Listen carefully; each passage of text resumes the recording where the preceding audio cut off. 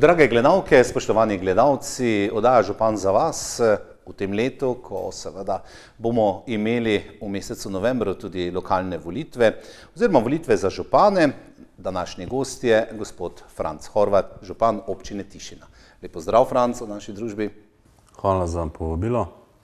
Uh, nekako se bom navezal na vašo čudovito proslavo. Slavnostno ste počastili 18. občinski praznik občine Tišina, ki ste jo seveda povezali tudi ga z 20-letnico gasilske zveze Tišina in pa z predajo oziroma s prevzemom motorne nove brizgalne eh, prostovoljnega gasilskega društva Krajina. Prav v Krajini smo bili in tam ste v slavnostnem govoru na slavnostne seji veliko tega izpostavili. Danes ne bo toliko časa, Franc pa vendarle morda zadnje mandatno obdobje, štiriletno, eh, kaj od tistih velikih najpomembnejših stvari se je zgodilo? Uh, ja, lepo zdrav gledalkam in gledalcem uh, televizije AS.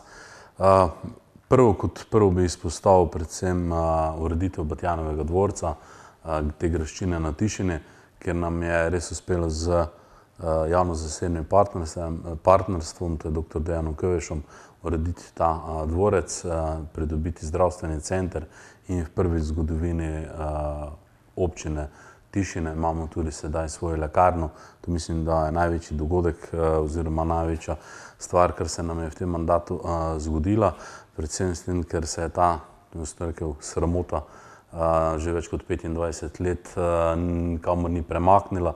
Ideja je bila in potem smo to zadevo res z pomočjo javno-osebnega partnerstva, ki ga nekateri tako grdo gledajo, ampak nam je vseeno uspelo uh, z dr. Devom Kvešom priti skupaj tako da je investicija stala en milijon evrov, mi smo dali 200 tisoč, ostale pa potem zasebni partner. Eh, veliko glede infrastrukture je bilo postorjenega, eh, cestne, vodovodne in tako naprej, eh, vendar ste občina, ki jo prepletajo tako imenovane državne ali pa seveda regionalne ceste, ki pa je seveda zgodba zase, poznamo kako je z državo, kako je tudi v zadnjem obdobju bila naklonjena seveda popravilu teh cest.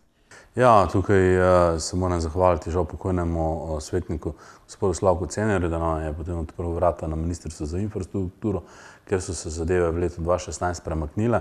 Tako zdaj pričakujemo ta teden, naslednji teden podpis pogodbe z izvajalcem del na cesti G, uh, R1 uh, 235 odsek Tiši na Tropovci, kjer se bo zaključil ta del, ki še preostal, se pravi ureditev pločnikov, izgradnja kolesarskih stez ter rekonstrukcija a, te ceste, se pravi tudi do, na levi strani do zadnje hiše a, v Tropovcih, tako da se potem ta zgodba tukaj zaključi z tudi ureditvijo oziroma izgradnjo krožišča v centru a, Tišina. Potem na cesti Murska sobota Giderovci, nam je uspelo torej projekt premakniti iz mrtve točke. Bila je zakoličba, projekt je bil potreben z naše strani, tu smo tudi eh, poiskali pomoč enega občana, ki dela na fakulteti za gradbeništvo in z njegovo strokovno pomočjo smo res uspeli eh, pripraviti skupaj z direkcijo dober projekt in upam, da se bo letos zgodila eh, odkup.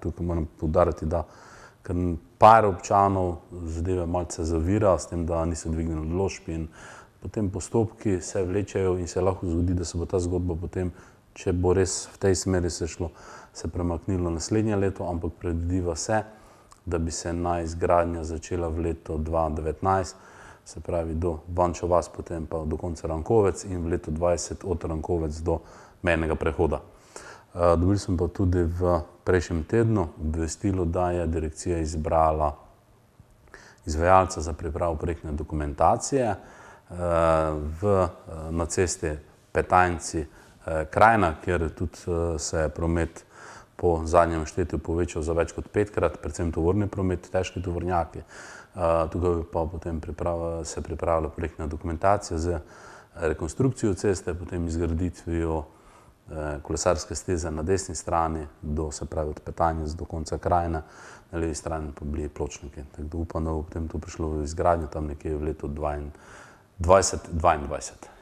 Malce še o morda kmetijstvu, agromeloracije na vašem področju, tudi morda nekaj o turizmu, pa o društvenem eh, družbenem, družabnem življenju v vaši občini? Ja, zaključujemo preme, uh, projekt devetih aglomeracij. Tukaj smo uspeli pridobiti 2 milijona evrov sredstev uh, iz uh, kmetijskega resorja.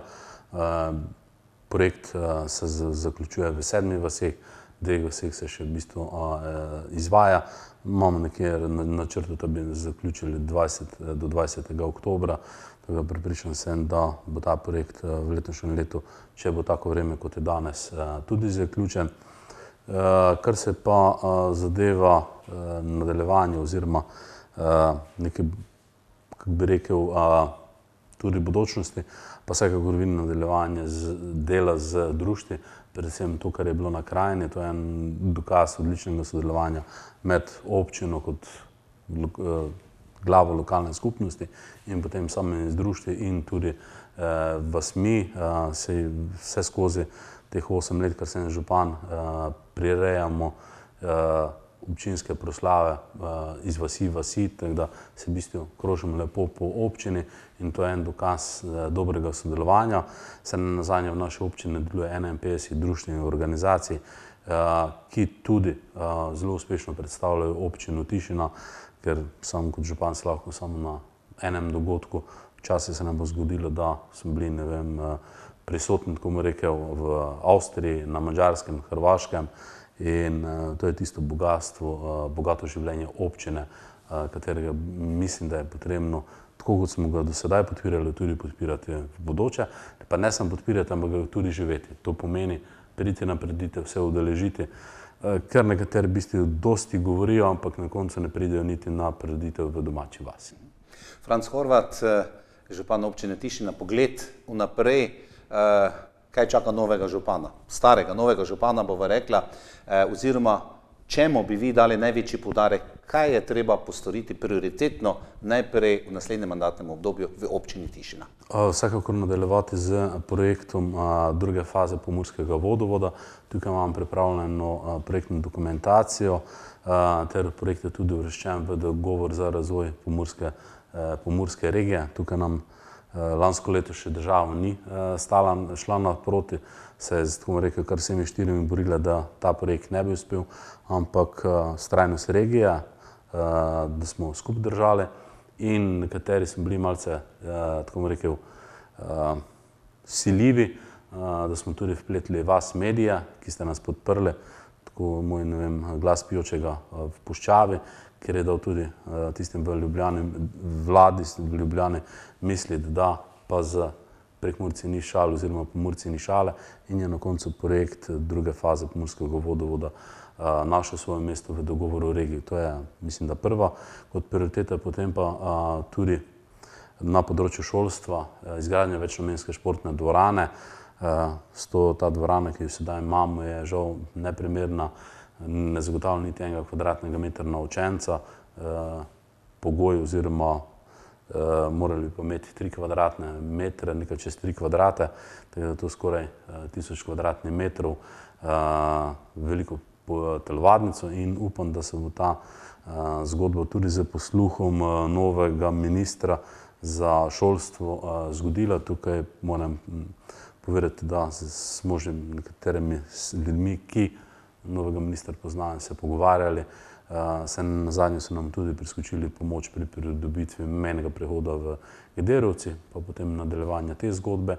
In vsekakor v bistvu pa, kot sem povedal že prej, sodelovanje z društvi, da še naprej uspešno predstavljali in delali za dobrobit občank in občanov občine Tišina. Cenjene gledalke, spoštovani gledalci, takole skozi razlago povedano župana občine Tišine Franca Horvata ste spoznali vse malce, delček, kanček eh, življenja zadnjega mandatnega obdobja, te, obdobja v tele občini in tudi kaj pričakujejo, kaj se nadejajo in kakšna je vizija v prihodnje. Župan za vas na televiziji AS, to pot za občino Tišina in dobrodošli v naslednjih odajah.